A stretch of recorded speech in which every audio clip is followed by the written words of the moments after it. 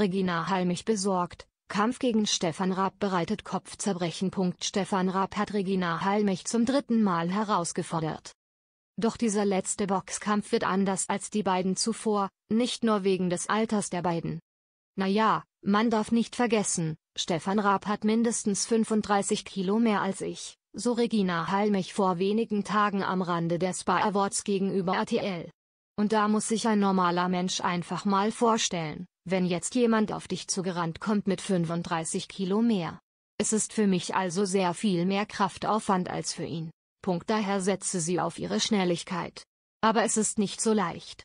Normalerweise sagt man, ein Boxer gegen einen anderen Boxer mit 35 Kilo Unterschied, keine Chance. Also deshalb.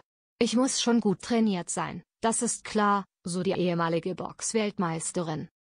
Und damit hat sie recht, immerhin gibt es einen Grund, dass mit der Entwicklung des festen Regelwerks im Boxen auch Gewichtsklassen eingeführt wurden. Was wiegen Stefan Raab und Regina Halmich? Er wäre sechs Gewichtsklassen über ihr, wenn sie ein Mann wäre.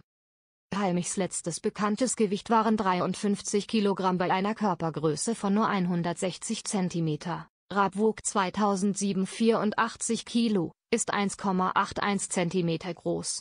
Wie viel Stefan Raab heute wiegt und was die Ex-Boxerin 2024 auf die Waage bringt, ist nicht bekannt. Doch gehen wir einfach mal ganz naiv davon aus, dass beides noch stimmt, dann würde Halmich im Amateurbereich der Männer in die Kategorie Bantamgewicht fallen. Raab hingegen wäre ein Schwergewicht. Dazwischen liegen fünf Gewichtsklassen, nämlich Leichtgewicht, Halbweltergewicht, Weltergewicht, Mittelgewicht und Halbschwergewicht. Keine fairen Bedingungen. Hinzu kommt, dass sie eine Frau ist, die beiden also in einem richtigen Kampf gar nicht gegeneinander antreten dürften.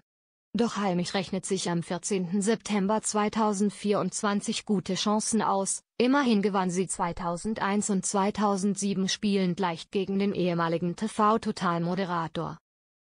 Doch die ehemalige Box-Weltmeisterin ist jetzt 47 Jahre alt, hat seit 17 Jahren nicht mehr richtig, die Boxhandschuhe, angehabt. Daher zögerte sie, als Raab jetzt auf sie zukam. Ich habe überlegt, ob ich das nochmal machen soll und dann gedacht, das waren zwei geile Shows damals. Und ich traue mir das zu. Insofern habe ich dann gesagt, okay, Stefan, machen wir's.